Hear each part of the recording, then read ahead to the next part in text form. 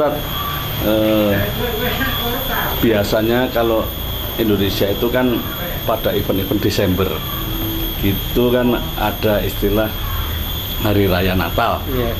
Nah, sejauh mana kita ini eh, istilahnya berhubungan toleransi dengan eh, sesama manusia. Nah, dalam hal ini kita karena selaku warga negara tentu kan berhubungan dengan eh, semua golongan kan. Nah, sejauh mana agama ini memperbolehkan toleransi kita ini berhubungan kepada non muslim? Bismillahirrahmanirrahim. Alhamdulillahirabbil alamin. Allahumma salli wa sallim ala sayyidina Muhammadin wa ala alihi washabihi ajmain. Jadi memang kita hidup di sebuah negara yang beraneka ragam masyarakatnya. Bhinneka Tunggal Ika. Bineka Tunggal Ika. Berbeda tapi tetap satu. Kemudian dalam pergaulan Islam mengajarkan kita harus berbuat baik kepada siapa pun.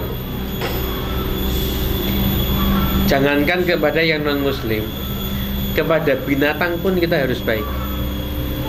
Kepada hewan yang akan kita sembelih pun diatur bagaimana kita memperlakukan hewan yang akan kita sembelih dengan sebaik-baiknya. Ini juga termasuk Pisau. toleransi ya? Ya, toleransi kehewanan tapi. Pisaunya itu harus tajam kemudian. Kemudian setelah itu untuk dengan non muslim apakah bebas atau ada batasannya? Tentunya sebagaimana agama itu mengatur semua perilaku dan tingkah laku kita pasti tidak bisa sebebas-bebasnya. Tentunya juga ada batasannya. Allah Subhanahu wa taala berfirman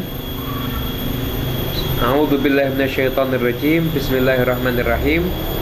La yanhakumullahu 'anil ladzina lam yuqatilukum fid din wa lam yukhrijukum min diyarikum an tabarruhum wa tuqsitu ilaihim innallaha yuhibbul muqsitin.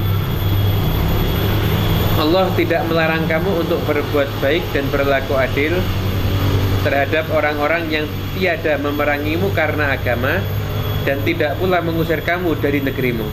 Sesungguhnya Allah menyukai orang-orang yang berlaku adil. Dalam ayat tersebut kita bisa lihat Allah Subhanahu wa taala tidak melarang kita untuk kita berbuat baik kepada orang kafir yang tidak memerangi Islam. Nah, Catatan ya. Ketika ada orang kafir yang dia tidak memerangi Islam, dia tidak mencaci maki Islam, maka kita boleh untuk berbuat baik. Dan berbuat baik itu sebatas mana?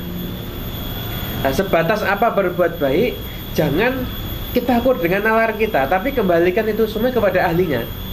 Gimana para ulama menyikapi ayat ini? Imam Al-Qarafi dalam kitabnya Anwarul Buruk beliau mengatakan bahwasanya batasan berbuat baik dalam ayat tadi dalam surat Al-Mumtahanah ayat 8 tadi itu gimana batasan berbuat baik yaitu ta'ayyana alaina an nabarrahum bi kulli amrin la yuaddi ila ahadil amrain menjadi jelas untuk kita semuanya bahwasanya kita harus berbuat baik kepada orang non muslim tapi jangan sampai menyebabkan kepada dua perkara. Yang pertama, kita berbuat baik dan itu menunjukkan kecintaan kita kepada mereka. Yang kedua, kita berbuat baik dan itu termasuk bab pengagungan syiar agama mereka. Hmm. Berbuat baik sama orang, jadi gini, berbuat baik sama orang non muslim boleh nggak? Boleh. Dengan catatan satu, nggak cinta. Dan yang kedua, tidak ada unsur pemuliaan atau yang berkaitan dengan syiar agama mereka. Ya. Bapak Akidah misalnya. Nah, bapak akidah ini keimanan. Jadi umpama punya tetangga nggak bisa makan, kasih makan yang banyak boleh. Ya, tapi dan- jangan cinta. Yang harus kita cintai adalah orang yang dicintai Allah dan orang yang mencintai Allah Subhanahu wa taala. Kemudian kalau kita lihat tetangga kita mungkin rumahnya rusak, kita benarkan rumahnya boleh. Gak ada masalah, itu berbuat baik itu boleh. Tapi jangan sampai ada perasaan cinta. Wah kita senang sama mereka, cinta sama mereka. Kemudian nanti ngikuti apa katanya mereka. Ini nggak boleh. Kemudian yang nomor dua, jangan sampai ada unsur pengagungan terhadap syiar agama mereka. ketika mereka mungkin merayakan Natalan kemudian kalau kita ikut datang ikut mengucapkan Ya. ikut membantu membantu merayakan merayakan atau ikut menjaga gereja ketika Natalan lah ini yang nggak boleh Hmm.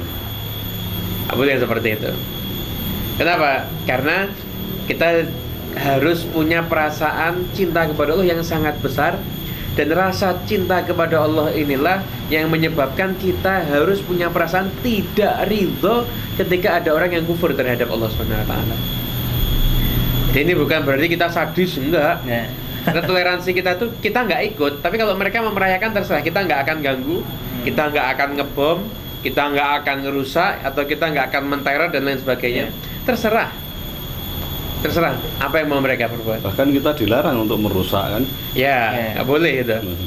Terserah apa yang mau mereka perbuat, tapi kita yang Islam kita nggak ikut-ikut. Urusan duniawi kita tet- tetap siap untuk bekerja sama, bahkan kita pun harus berakhlak mulia kepada mereka.